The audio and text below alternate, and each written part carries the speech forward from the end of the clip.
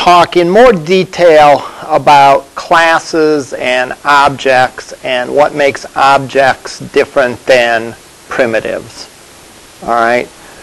Um, we have a sense of that already, right? Uh, uh, a primitive is just a value. All right. Whereas an object is an entity. An object is an instance of a class. A class is an entity within a program domain, or problem domain rather, that can have um, attributes and it can have methods. All right. I think the textbook says it can know things about itself and do things. All right. So we're going to build an example of a class, just for one thing, just to review these concepts and to do another example from beginning to end and write some test cases for it.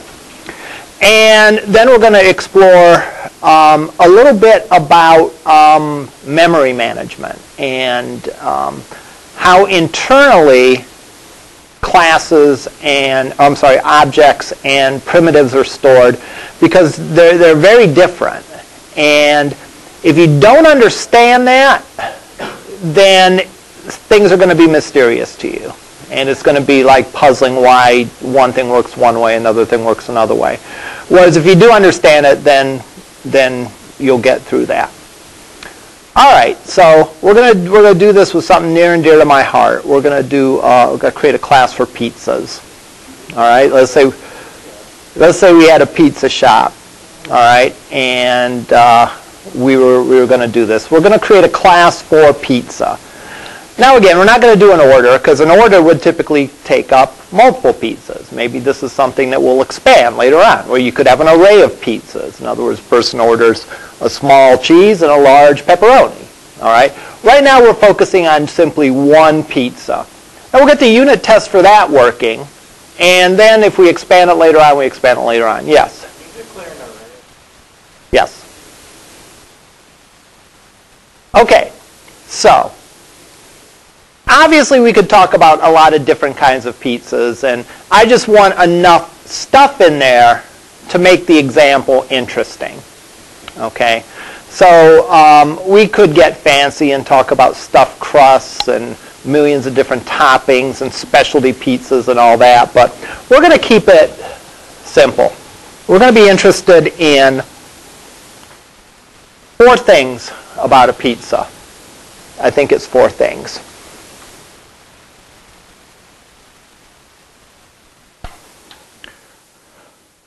We're going to be interested in the size of the pizza. Small, medium, or large. All right? We're going to be interested in only one topping. We could, we could easily imagine that you know, we could throw in double pepperoni or pepperoni and sausage and all that, but we're only going to be interested in, in a single topping. This is a this is, you know, this is like the, you know, uh, uh, very strict pizza chef who only makes pizza a certain way. You can either get cheese or pepperoni. It's the only two choices. All right. So we're going to be interested in whether the pizza has pepperoni or not.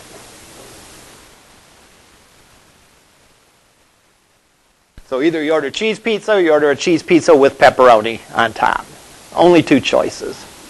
Small, medium, and large we are going to be interested in how much the pizza costs. All right? And finally, we're going to be interested in how long it takes to bake the pizza.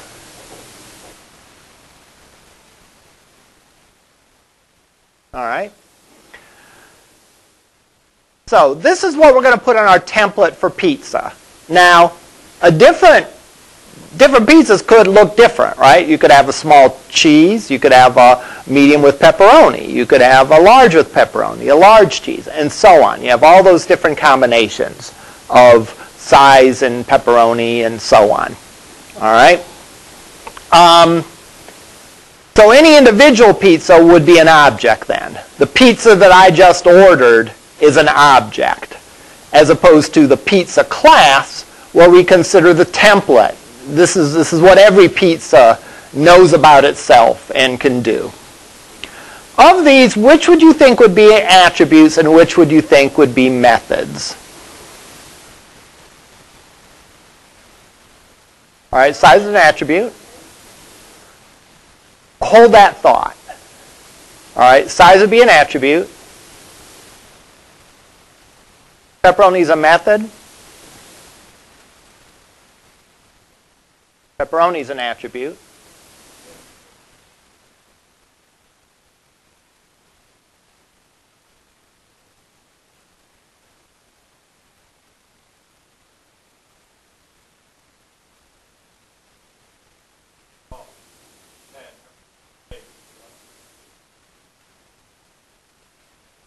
Anyone care to contribute to this discussion?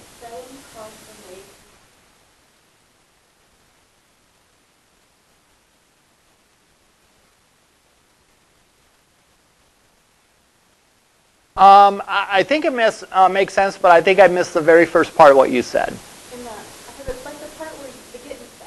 Yes. When you go to set the cost, it's going to call the size and has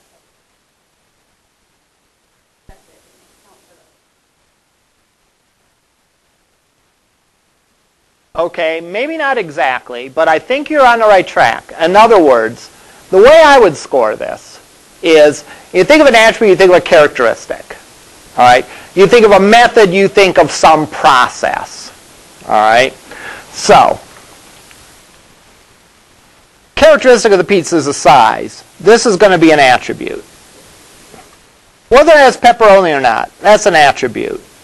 It's a yes or no in this case, right, if we're not allowing for extra pepperoni. Now, to your point, to, to one of your points, the cost depends on the size and whether there's pepperoni or not. You know, there's going to be a certain base amount. You know, maybe a small pizza is six dollars, a medium is eight, and a large is ten. And then maybe it's an extra dollar if you have pepperoni on it. Uh, on a small, an extra two dollars if you have a pepperoni on a medium, and an extra three dollars if you have a pepperoni on a large. All right.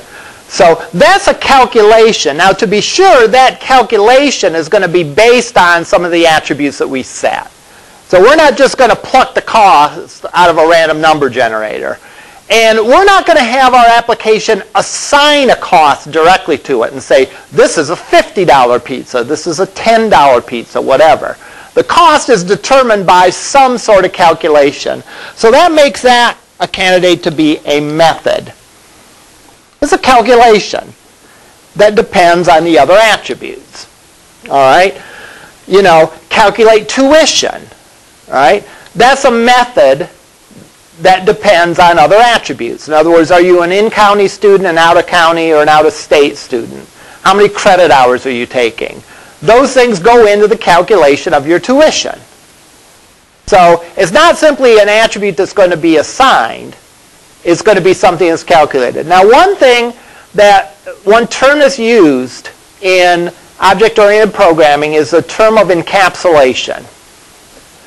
In a nutshell, that means that everything about a pizza is going to be contained in this class. So the cost isn't contained somewhere else. All right? And we're not going to simply set the cost from somewhere else. The, the pizza itself is going to have the, the necessary ability to calculate its own cost. And likewise, baking time. And again, I've never worked in a pizza shop, so forgive me if these are wrong, but we're going to assume that it, cost, uh, it takes shorter to bake a small pizza than a large pizza. That kind of makes sense, right? If it doesn't, just let's pretend that it does. All right? So, these are going to be methods. And we'll say that the cost is 6 for a small, 8 for a medium, 10 for a large, and then with pepperonis an extra dollar, $2, $3. I put LL. And baking we'll assume 8 minutes for a small, 10 minutes for a medium, and 12 minutes for a large. All right. So those are going to be our assumptions. all right, in calculating this. So we want to build this so that this can be used anywhere that we need to use a pizza. This has everything that our restaurant is interested about for pizza. All right. Now, there might be other things, but this will be the assumption that we'll use going forward, that this is what is relevant for our pizza shop. All right. It's always about relevant to the problem domain and the problem that you're about to, to solve. All right. Um, and in our case, we'll say these are the only relevant factors for pizzas. All right. Again, it's encapsulation. There's not going to be somewhere else that, for example, for example tells you how many ca- uh, calories are in this pizza. All right. If there was that sort of thing, it would be put into as a method in the in the pizza class because that's a calculation a pizza should be able to perform. Likewise, if our policy is to cut a small pizza in six slices and a big pizza into 12 slices and a medium pizza into eight slices, well, then that would be also in the pizza class. So everything relating to a pizza is going to be in a pizza class. We're not going to have pieces of code elsewhere. This is really the big innovation of object-oriented programming before, uh, as opposed to the older procedural style of programming. With procedural style of programming, you had code spread out through a bunch of different programs. So if we were talking about code about employees' payroll, for example, there might be a code in one place that did the paycheck calculation. All right? There might be code in another place that um, printed out the W-2s. There might be code in another place that uh, calculated vacation time or something like that. Now the problem was is all this code was strewn out around in a bunch of different procedures. So if something changed, all right, you'd have to go and track down all this code and make sure that it was changed across the line. Stuff wasn't encapsulated. The, the code was spread out throughout. It was focused on a procedure, not focused on an entity and all the attributes and methods. Whereas now we would have something like an employee class, that we had uh, everything relevant to an employee would be in that class, and we can then don't have to look for several places to, to, to, to, to do a test if the employee has any dependents, for example. All right? There'd be one place where we did that check, and didn't matter how many processes wanted to know that, they would all go to the same place to look that up. So, in a nutshell, this is what we're going to put into our pizza class. Now, heard a statement when I first said about this these are all methods. There's an element of truth to that because we are still going to we're going to create uh, methods for these two attributes. We're going to create get and set methods for these. Why?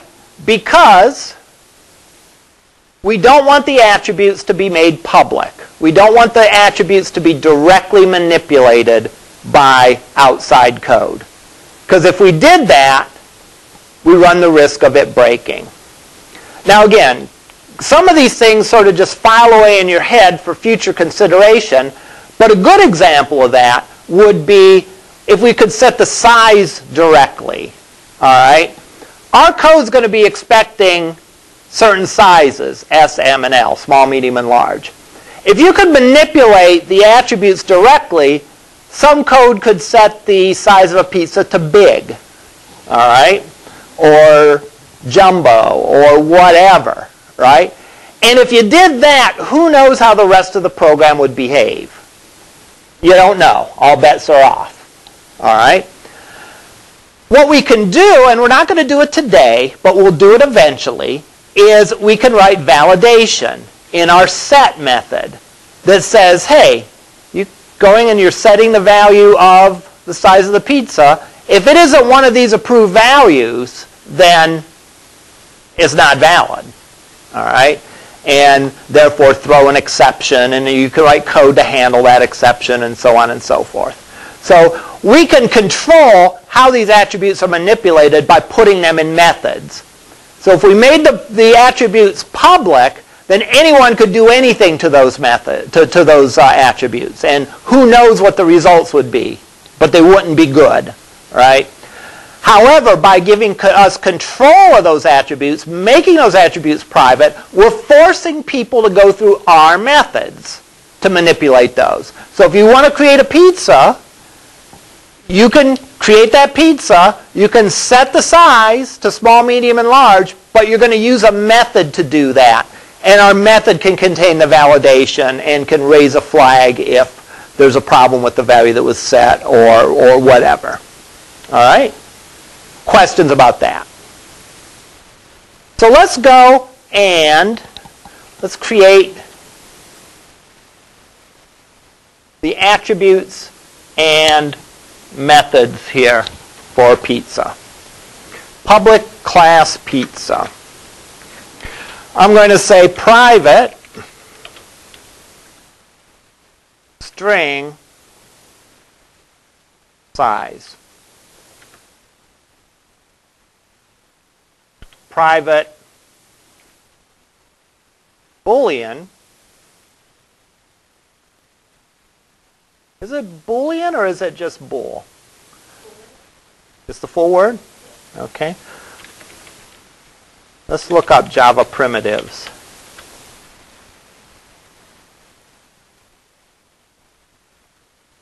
All right, they have a list of them. And sure enough, it is it is Boolean. There's only a handful of them, though, right? There's a byte, short. Almost never going to use those. Int often used, long is often used, float, double, boolean, and char or char for a single character. Interestingly enough, notice that string isn't on that list. So string is actually an object. All right. All these things are simply values. That's all they are. They have no methods associated with them. And by convention, the primitive data types start with a lowercase letter. So if we look here, private Boolean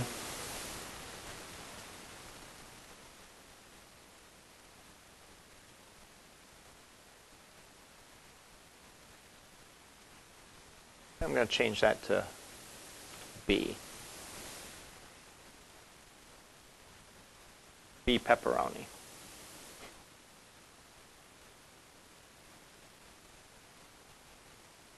Now we could initialize it to a default value, right? There's a couple places we could do it. So I could assume that it's not pepperoni unless you set uh, it to true. All right? So well, let's go ahead and do that. I'm going to set the attribute to false. All right.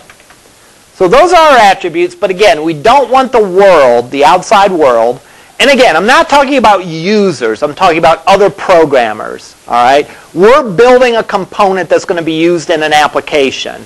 Now, we are ourselves going to be using this because presumably we're part of the team that's writing code for this pizza shop, but there may be other developers that use it as well. And we want to make our components as rock solid as possible.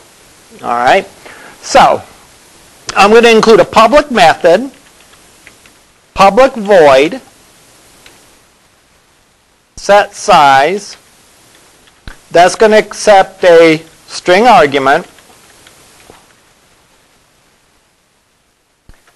and it will simply take the string argument and set the size attribute to it. All right going through these first examples, it, some students sometimes think like that's a lot of work for like not much of a benefit. But there really is a lot of benefit to this because later on, we're not going to simply have a one-liner to set the uh, size to the attribute. We're going to have some validation in there. We're going to have some control that's going to look to make sure that we only set this to the appropriate value.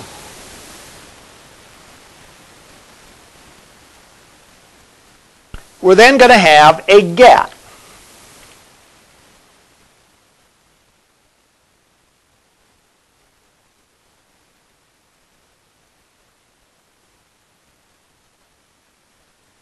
that simply returns the value of the size.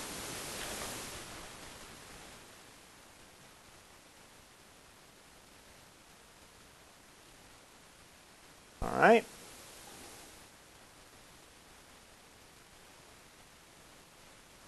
You have the same thing for pepperoni.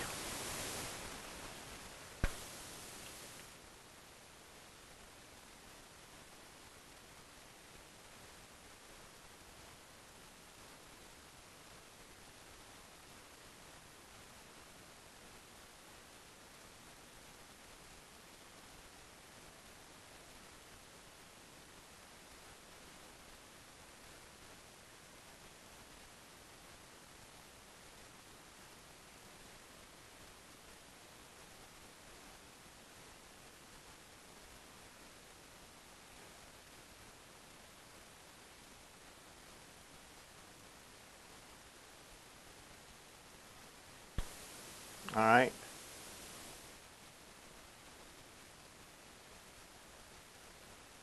So any accessing of these properties got to go through the methods. Cannot directly, the outside world cannot directly manipulate them. All right.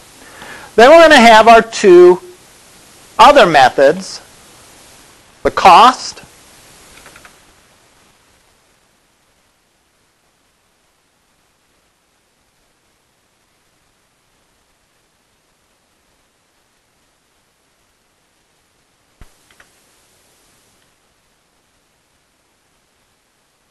and the baking time.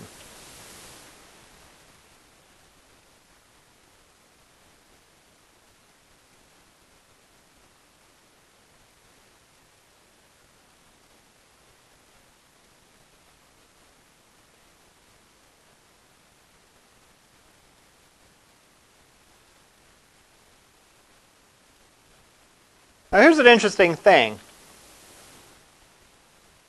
just looking at the methods, we really almost can't tell what's an attribute, what's a method, right?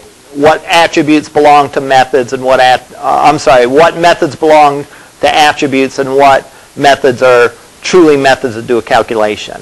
That's called data hiding, all right? The idea is, is the outside world, and by the outside world I mean other developers, should know about the internals of a class shouldn't really know what is saved in a class. Now, we haven't talked about saving a class yet, or an object yet, but shouldn't know what is being stored as an attribute. For example, one, one example that I often do in this class relates to if we're doing handling rectangular plots of land. All right, they have length and a width. All right. Now, for a rectangular plot of land, there's a length and there's a width, right? There's also a perimeter with the, with the distance all the way around.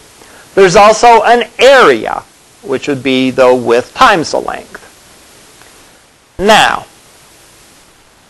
there would be methods to get all of those, to get the length, to get the width, to get the perimeter, to get the area. What is an attribute? It doesn't matter.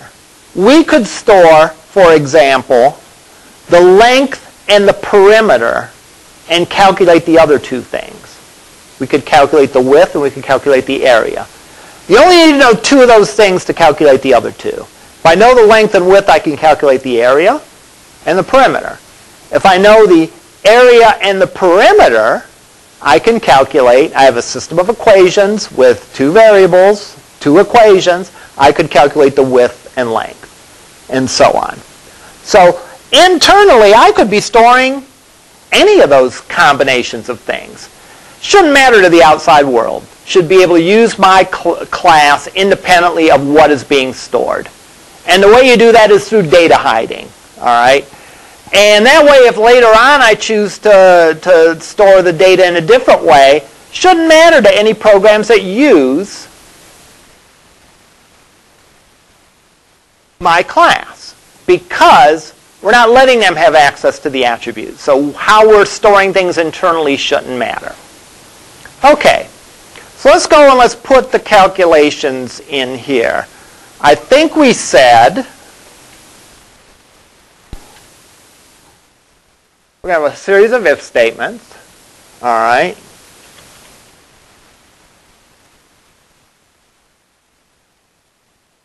And I'm going to say if size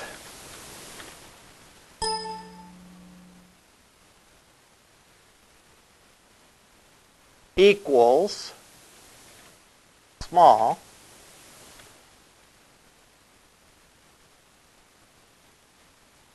and I think I said the cost is $6. And, oh yeah, by the way, if B pepperoni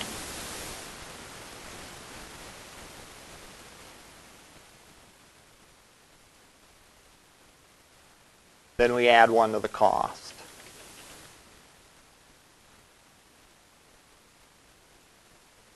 All right.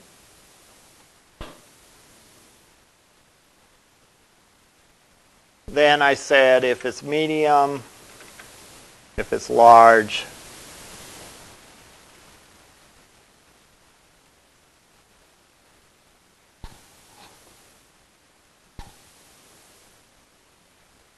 then they get $2 for pepperoni on a medium, and a large costs $10 with $3 for pepperoni. And then when we are done, we return cost.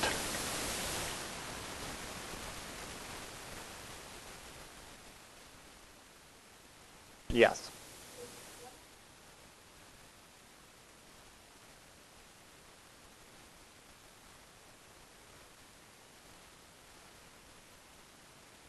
I initial, I'm initializing the cost to zero up there. You are right. The compiler would, no, that's okay. The compiler would complain if, if cost was never initialized, because then um, it could foresee a case where none of these if statements were true, and it didn't get assigned, assigned a cost. So yes, you are correct. You do have to initialize that. Now keep in mind, there's about a million different ways that you could do this. You could do it with else's. You could do it with a case statement. You could do it whatever. Um, I'm keeping it, trying to keep it straightforward. Again, the, the processing time involved is going to be a minor difference between the different variations to do it. So I'm not terribly worried about that. I'm worried about the clarity of the code. All right. So the bake time is similar.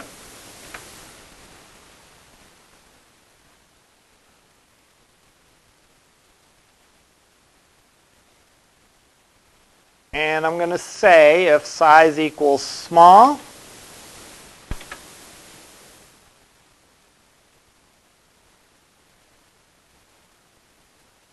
time equals 8 minutes.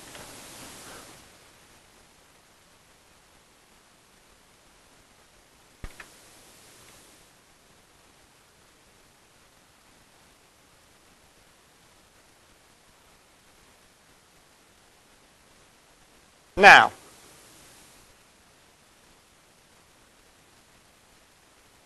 if our pizza place expanded and we started offering, you know, thin crust versus thick crust, that might be a factor in a couple different things, right? That might be a factor in the cost. It might be a factor in the baking time.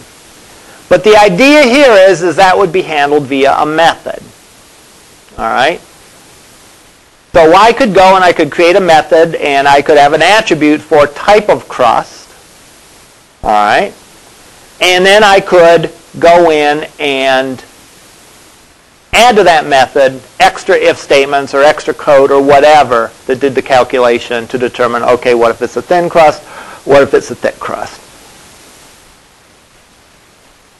Pardon me? You have two medium pieces. Very good. And then we, at the, at the end here, we're going to return the time.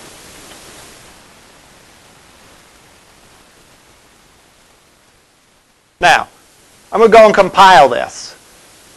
Going to really do me a lot of good, right? Because I don't have any code to test this. Right? I can't run any app because I don't have the unit test module with a main method in it. But I'm going to go compile it anyhow just to make sure that, you know, I didn't typo on anything or anything along those lines. So I'll go here.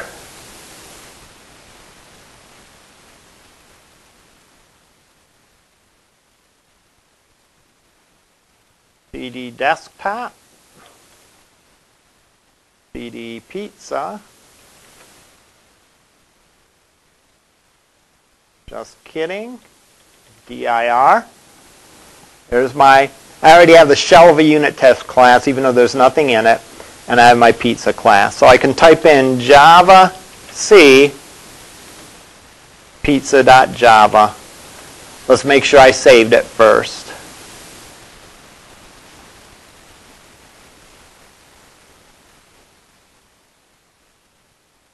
and it compiled cleanly. So it worked, we can go home. No, just kidding. We have to test this. Okay? So how are we going to test this? Well, first of all, let's just make a basic test to test one pizza. How many test cases should we have in total? At least.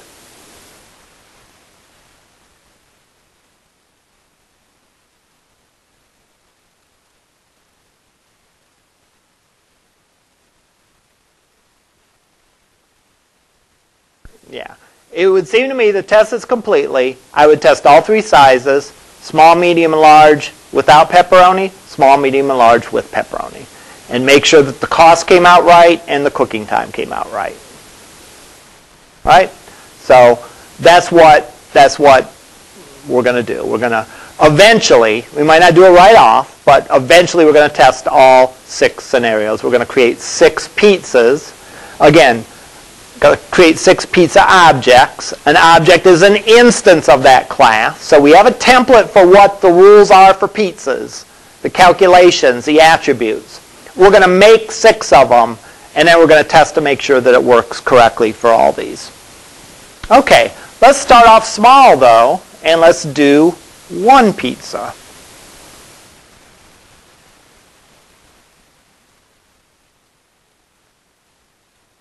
All right. So,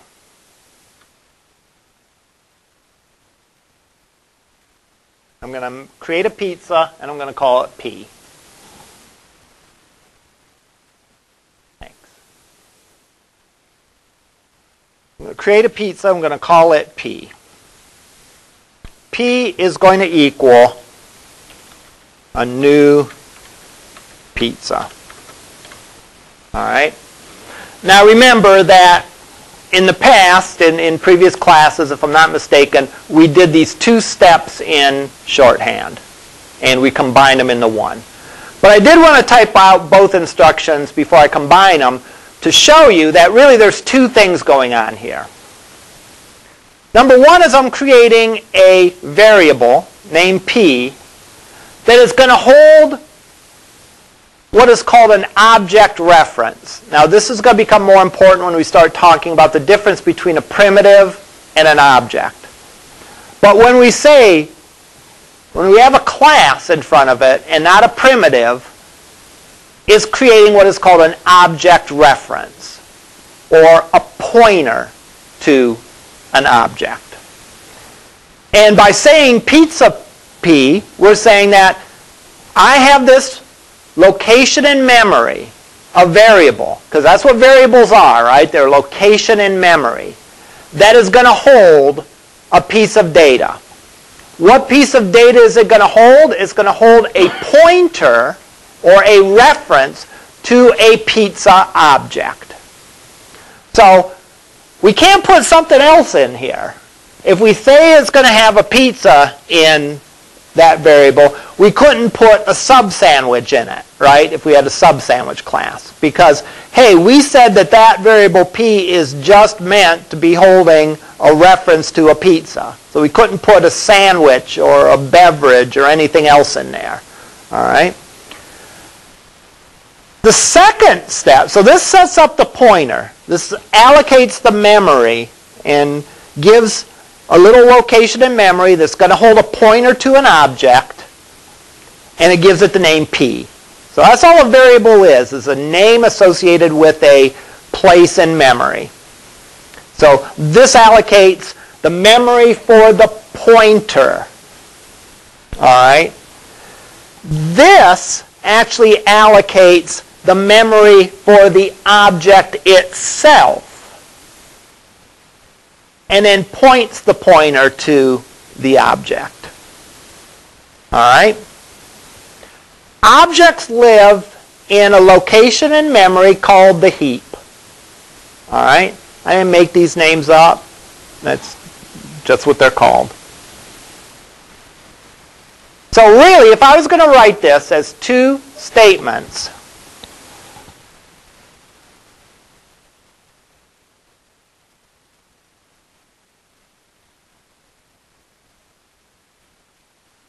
called the stack, by the way. The first statement pizza P creates this little location in memory where I'm going to store a pointer eventually to a pizza object. But I haven't made any pizzas yet. All right? It's a pointer, but it's a pointer that doesn't point to anything. A very common error that developers get is what's called a null pointer exception. And that's exactly the scenario we have here, where we have an object reference that doesn't point to anything yet. That's what this statement does. Is it creates an object reference. The name of this guy is P. We're going to put a pizza in here eventually, or rather we're going to put a pointer to a pizza here, all right, eventually. And that eventually is, is when we say P equals new pizza. That does two things. That allocates the memory for a pizza object, which has, of course, its own attributes,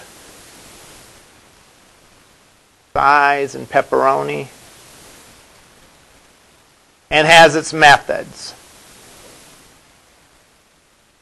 So we've created this on the heap. And when we say P equals new pizza, then we stuff in whatever that memory location is, some sort of number. I don't know. We'll say it's 100 in this case. Okay? That's actually what's happening when we execute those two statements. And that's important to know. All right? The meaning of those, the two halves of that, the uh, uh, two parts of that statement. One sets up memory for a pointer. Doesn't do anything with that memory yet, just sets it aside. That is the P or pizza P. That sets up a pointer called P in which we're going to point, create a pointer to a pizza object. The second part, P equals new pizza, actually creates the pizza object, the instance of that, all right, pizza class, and puts it on the heap. These attributes are sometimes called instance variables. Why? Because each instance of that class has its own values, right? Each pizza has its own value for size and pepperoni and so on. All right? So those depend on the specific instance of that pizza class. So that's what these two statements do. Again, if we want to, we can combine them into one shot like this. Then it does both those things together. It creates the location for the pointer. It creates the pizza object in on the heap. And it makes sure that pointer points to that pizza object. So anything that we do with regards to that variable p is pointing to that pizza object that's laying in the heap. All right? So I could say p set size medium. Make a medium pizza. P dot set pepperoni false. Now that I've done that, I can say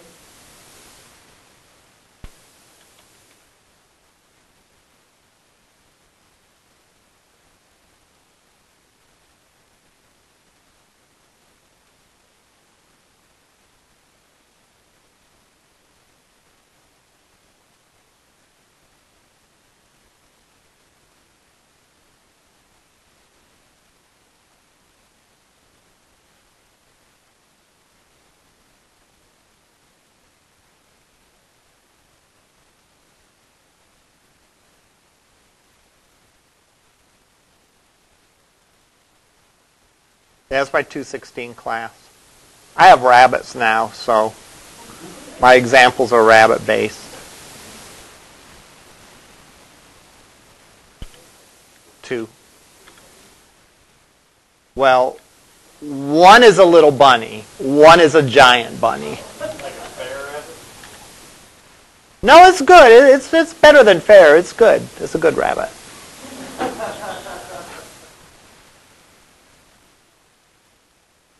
They are indoor bunnies.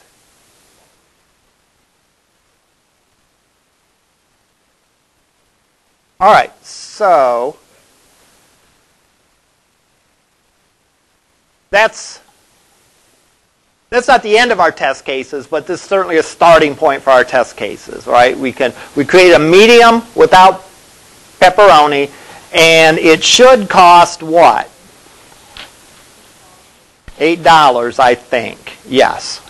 And then let's see how long it should bake.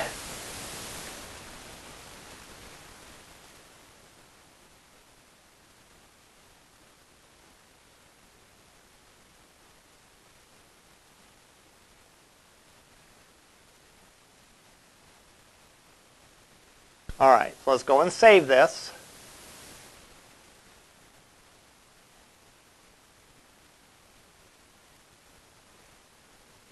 Um,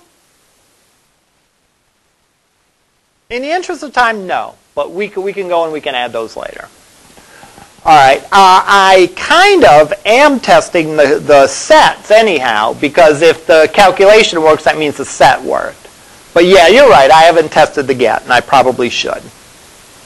All right. Let's go and let's compile unit test.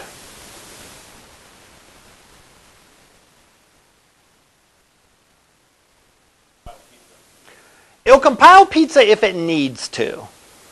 Uh, it doesn't always compile it. Like, if I'm not mistaken, I haven't changed pizza. I, I've compiled it since the last time I changed it, so I probably it probably will not compile it. But if it needed to, it would. All right. If I had never compiled pizza, or if I made changes to pizza and I hadn't compiled it. So let's go and compile it. Unit test. All right. Cannot find symbol. Get bake time. All right.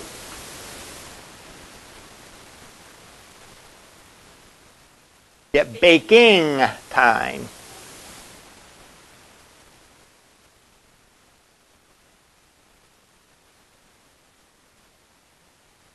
Again, the, the, the error message is sometimes useful, sometimes less useful. In this case, it says method get bake time on variable TP of type pizza. What that essentially is telling me is it can't find bake time in the class pizza. All right, so it was a pretty good descriptive error message once you know what it means. All right, so I'll go and I'll change that in the unit test class and recompile it. And it compi- compiled. We do a list here. Notice that the pizza class is compiled at 133, which represents the last time I changed it. The unit class, unit test class, which I just compiled, is at 147. So it, it was the compiler is smart enough to know I didn't it didn't have to recompile the pizza class. All right. So now I'm going to go and run it. CLS to clear screen, and I'll say Java unit test, and it tells me that the pizza costs eight dollars, and it should bake for 10 minutes. And if I'm not mistaken, that's correct. Okay. So, we could certainly expand our unit test. And this is where sort of knowing the factors that go into this is important because the cost depends on those two things.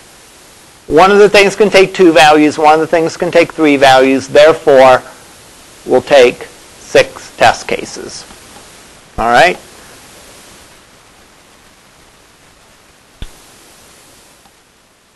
We could test the gets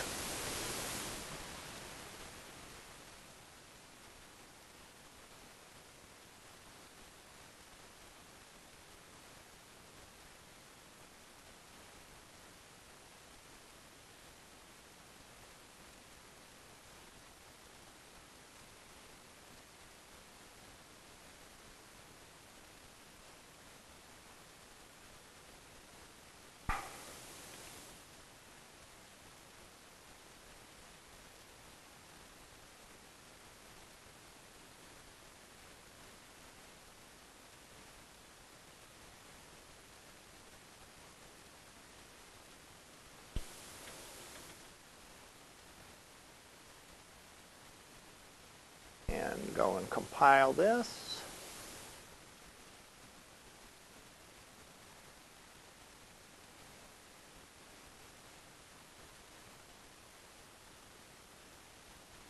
Medium, no pepperoni. Okay, so we did verify that. So again, to test this thoroughly, what we would do is we would build the other five test cases. I'd create a medium with pepperoni. Make sure that the results were correct. Medium or uh, um, a large with, a large without, a small with, a small without. Okay.